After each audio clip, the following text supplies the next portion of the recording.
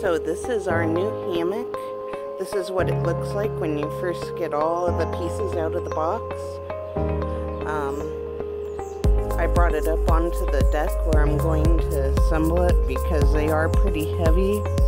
So it's good to have everything ready where you want to actually set it up. Um, all the parts for this come in this bag here. So they're just loosely put inside so you can just either dump it out someplace safe or reach into it and grab what you need.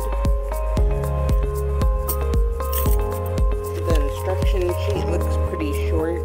The front basically just goes over all the pieces that come with this. It also says it comes with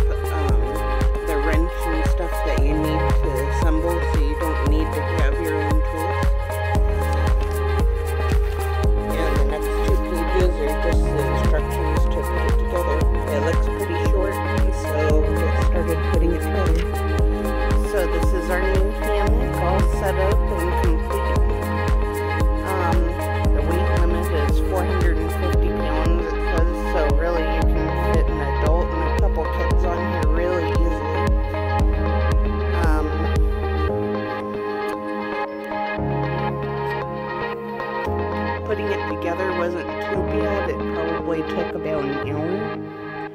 There really aren't that many parts to it, and the hardest part is getting the center uh, upright bar into position because the bolt has to go all the way through to the other side. The most important thing is to make sure you don't tighten everything until you're completely done getting it together.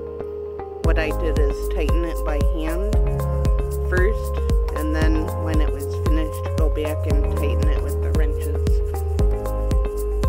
After that's done, all you, all that's left is to put the actual hammock on. It's really easy. The chain comes in with the parts, and you just hang it up on that. Um, the hammock itself is really good to off when it's going to rain and stuff, so you don't damage your fabric. And all you have